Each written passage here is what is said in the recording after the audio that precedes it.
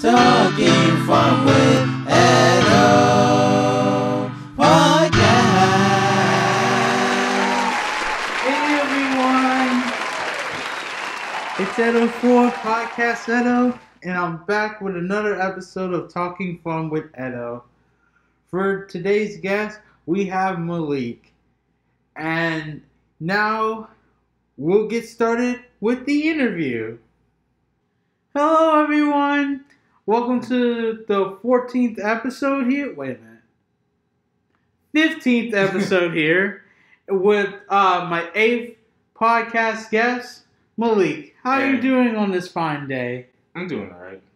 So, um, how did you? Uh, where are you from, by the way? As we're starting. I was born in New York and I moved to North Carolina around the third grade, and so I've been living in North Carolina until I moved down here for college.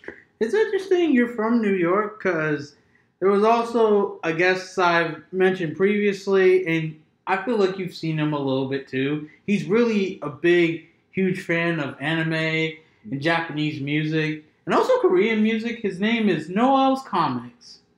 Nah. It's okay, don't worry. Like his link will be in here, and you know you're all free to watch it. Speaking of which, how did you get into gaming? I've always enjoyed gaming. Like back when I was living in New York, like most of my like hobbies were just playing video games. So like I had inspiration when I was playing like an old Dragon Ball game on the GameCube, and so like, huh, maybe I can make something like this. And so I got into game development. Do you remember like what was like the first game you made? Um, the first game, it was. I had like a, a few projects, like, I was starting one like before I attended Full Sail, but then I didn't finish it because well, college. I wasn't able to go back to it, and so I finished another game project before I finished that first one, and it was like um, I worked with a team. It was like a asymmetrical hack and slash game where you just kill as many gob like goblins, skeletons, and slime and all that stuff until like you get to the boss and win. Before it was like there was no like one condition, you just have to survive. But then they added a boss, and so like okay, we got one condition now. Alrighty. Didn't is I heard you made a Mugen game. Yeah, move. That was my first um, project that was able to finish. Gotcha. Now I did, and but I was having trouble because um I was attending college. I learned how to make an installer. It's like when you like go on Steam and you want to install a game. That's what I'm talking about. The problem is like I the game was like really big. It was like eight gigabytes.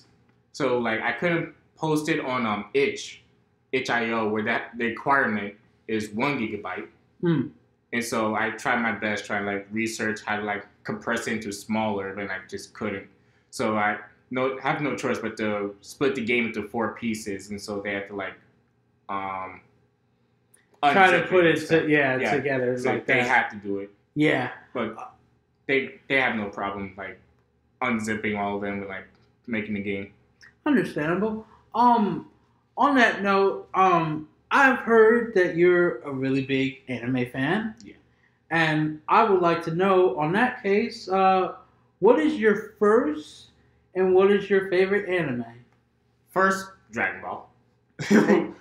I played the Dragon Ball game before I watched the anime because we didn't, wasn't like we really didn't have internet or cable, Right. so we just been playing the games. And so my favorite anime, I am not sure. I, I'm probably just gonna say Dragon Ball.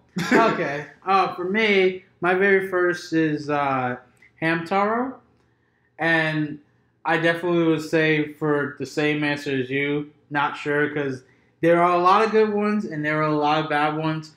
Don't worry, there is nothing on the screen that will show that. Unless you guys want to make a meme of it, I allow that too. But anyway, speaking of which, the reason why I've mentioned that is um, Hamtaro was my first anime 20 years ago. And the thing that was really interesting that I've learned again about Noel and another YouTube channel called International Channel 4 Life, which they have like a lot of J-pop, K-pop, and a lot of anime stuff. Uh, 20 years ago, they said this was like the anime invasion or just like the Asian invasion of like a lot. Of, yes, they did call it that. And it's just interesting that it was like that. And 20 years ago, that was the first time I saw Hamtaro. The re- when I realized it was different, which it's a video you guys have seen at this point called "How Blank Created Blank" of Azuma That and Bobobo, when I realized it's ah. like, hey, you know, these cartoons are very different in the way they make it, you know, here in the United States. Even my favorite one, Ed, Edd and Eddy, it's not even from America; it's from Canada. So that was I I did not know that. we're all learning something every day. So, on top of that, um, do you have any favorite uh, Japanese musical artists? Japanese musical. It could be a group too. It could Um, there's this one um singer um I forgot her name Lisa. She was Lisa, like doing, okay. she was doing some of the um Sword line openings. Yes, and yes, I really yeah. loved those. I, I and if I remember correctly, she did one not recent, but like one of the first seasons of uh, Demon Slayer. One of Uh, the themes. Yeah, Oh, she oh, also oh. did season two, I believe. Yeah, she also. I, I did research. Like, she did the movie as well. Gotcha.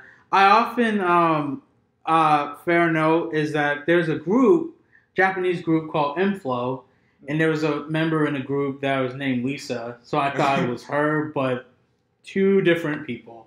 Um for your fir- would it, would it be your first artist as well? No, my first. I'm not even sure. It's okay. It's, um, and on that note, uh, Korean artists uh, for K-pop. Uh, any favorite or first for those as well?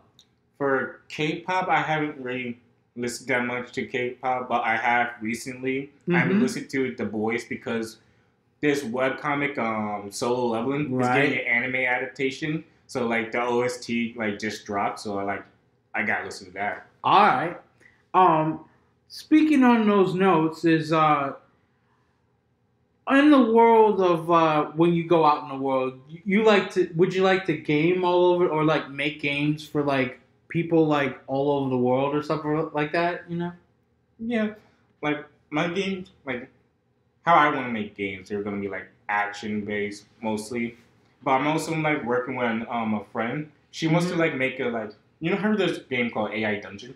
I've heard of it. Sounds Yeah, so like uh randomly generated like scenarios and all that stuff. mm-hmm. And so like she want to like have like the characters be from like anime character, like she want like Grimmjow in it from Bleach and all that stuff in Right. the game Right. like different scenarios and all that stuff. And I was like, huh, maybe I'm I can now only work on like action games, maybe like somewhere along like dating sims and all that stuff. Right.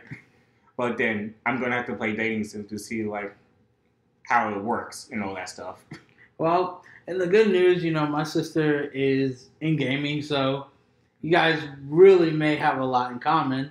Uh, so, is there um anywhere in the world would you like to travel to outside the United States, or you're just cool right here, I'm cool right here. Like I haven't really given that much thought. Right? I would, as a normal person, would say like Hawaii or Japan. Yeah.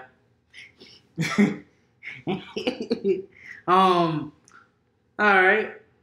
Uh, what would uh, your favorite food be? Pizza. Like I mostly enjoy Italian foods, like Gotcha. lasagna, Okay. pasta, mezzini. Gotcha. Um. Hmm. Uh.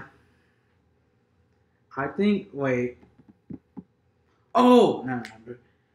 Sorry about that, folks. Just had to. Like I said, a lot of these are like very, very um non-scripted. So, um, is there um, what is like the ways you want people to remember you by? I know it feels a little early, but just just like like just at any point, like it's just like when you go off in the future and stuff. Like, how would you want people to remember your legacy? As like just a gamer or just something more, somebody more. It's mostly like someone like trustworthy. Like even when like when I'm like making games, um, my future plans like having my own game um game company. And so like and there's like a lot of game comp- game companies that people can't really trust, like Blizzard. Yeah.